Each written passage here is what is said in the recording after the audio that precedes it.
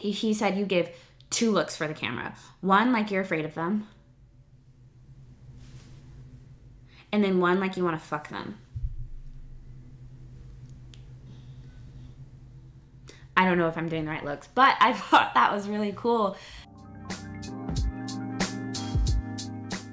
Hi there, welcome to my YouTube channel. It's Kai Denise. I'm Kai Denise, and I am currently living my vision board life. It's so weird to say, and it has taken so much time for me to realize that I am living my dream life. And I want to teach you how to make your vision board come to life so that you can live your dream life. And that's going to come with shifting your mindset, developing tools and systems to help you achieve that, but also balancing that with happiness and relaxation. Life is so good.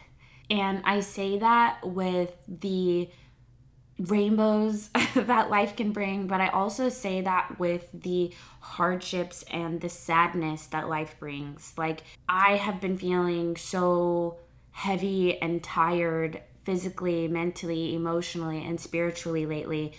But I feel like even though I'm feeling these really heavy, tired, deep emotions, I'm still able to see how beautiful life is, how beautiful my family is, my friends are, how lucky I am to just like have so much and even when I have a hard time, I'm still able to see how beautiful life is, how beautiful I get to have all of these incredible experiences. Garrett and I, we just got back from Canada. It was amazing. We stayed at the most beautiful Airbnb ever.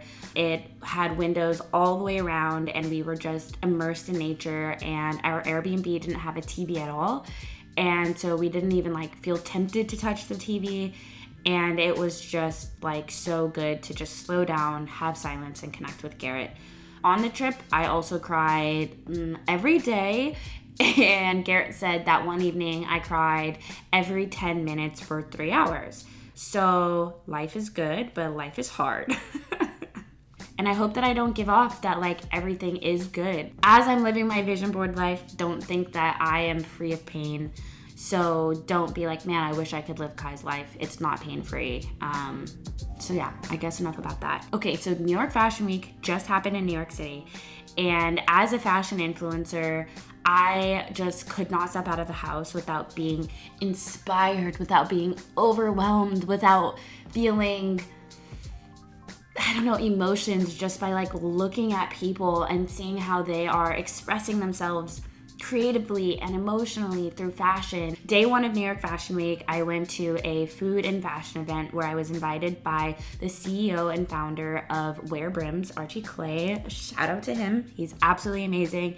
Um, him and I did some HBCU work in September of last year, and um, I think our missions and our values just really aligned, and he truly feels like family to me now. So I was honored to be able to go to that. It was my first time going to an event completely alone in the city. It was amazing. I was super nervous. I didn't know what to wear because it was like New York Fashion Week, but also it was like a day event and it was also like streetwear with like hats and Archie's hats. Um, so I didn't want to like overdress, but I didn't want to underdress. But you know? I was pretty happy with the outfit I put together. Got tons of compliments, but it was really, really cool talking to people about fashion and their fears of stepping out of the house in certain outfits or talking to people about the inspo that they're getting. There's one guy there who said that he was going for a Tyler the Creator look, and as soon as I saw him, I knew that he was doing. So it's just like cool to be talking about fashion and seeing how people express themselves.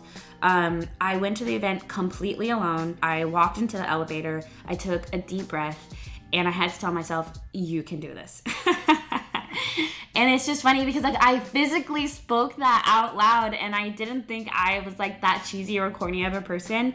But literally as those doors opened, I like released all of my air and I walked out and I was greeted with open arms. And it was just like such an incredible experience. And I met two amazing new girlfriends that I genuinely don't think I would have met. I met up with people and I asked them like what is happening afterwards and I heard about the after party. I'm blanking on the designer's name. It's like Jerome LaMaar, Jerome LaMaar. So I got me and my bestie and we snuck into the event, which is so crazy. Um, we had a screenshot of the event that was happening. They were like, you need wristbands to get in. We went down. We literally just like acted with confidence. Yeah, like here's our invite. And we got the bands slapped on our wrist and we went up and it was the time of my life. Like it was like stepping into everything that I wanted in my life. And so that's why I'm saying like I'm living my vision board. I'm like even though I had to sneak in, I am at a New York Fashion Week event after party where the lights are sexy and people are showing up and there's cameras like paparazzi and there's just people who like you want to be talking to like the fast lifestyle um, and I felt really energized. I also love drag, and there was a fire drag show. Literally, like, gave me chills. I actually ended up walking on the runway, which is super embarrassing. Dom took a video of me, and I refused to watch it because I'm so embarrassed. But you know what? I'm just glad that I put myself out there and I'm trying new things.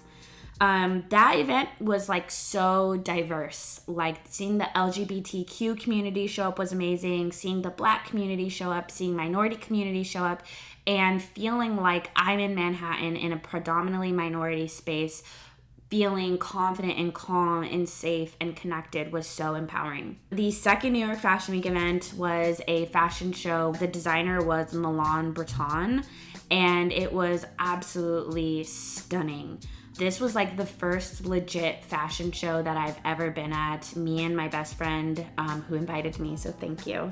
We literally got the best seats in the house. We got seats at the end of the catwalk, right where all of the photographers and the press were, and it was stunning. In fact, our legs made it onto Forbes. um, so technically, I've been in Forbes now.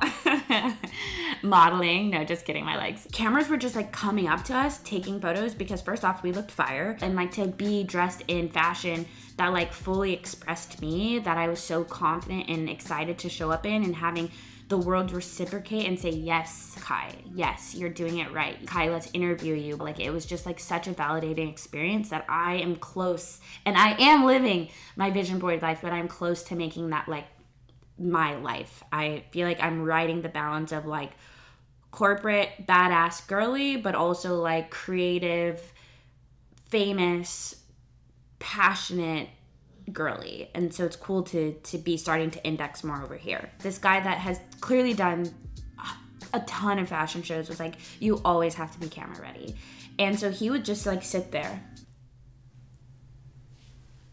he was camera ready all the time. It was fun to like sit and learn about the things about being at a fashion show. He, he said you give two looks for the camera. One, like you're afraid of them. And then one, like you want to fuck them. I don't know if I'm doing the right looks, but I thought that was really cool um, advice and just again like channeling a new like side of fashion and luxury and fast life and it was just like really cool. So the fashion show was amazing. There were pieces that literally just like spoke to my soul and spoke to my heart and I was like I'm to be wearing those pieces one day. I'm going to be at the Met Gala. I'm going to be at the Grammys wearing amazing pieces that like speak to my soul. So life goal We'll see when we get there, but it'll be fun to look back at this YouTube video and see how I manifested it and spoke it into existence. At the very end, uh, the designer actually came out and he was crying. And I got chills, and honestly, I'm getting chills now thinking about it because I love to watch people live within their passions.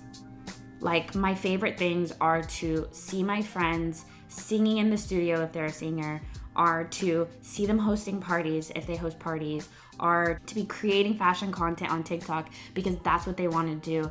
And so to see a designer at the peak of his accomplishments and working in his passions of having a New York Fashion Week event and walking out and crying and getting claps. I was like, I want that experience for me. I want that experience for you. Yeah, we all deserve that feeling. Was like getting interviewed by this white woman and she goes, Look at you standing next to that white woman. And then uh, me and Dom afterwards, we just like grabbed a drink and she was talking about like what it means for us to be in these spaces as minority black women. And I was just like, damn, I'm doing it. I'm doing it. I'm doing it for myself because this is what I want. I'm also doing it understanding that I am creating one more front row seat for another black person in the future. And like that is incredible.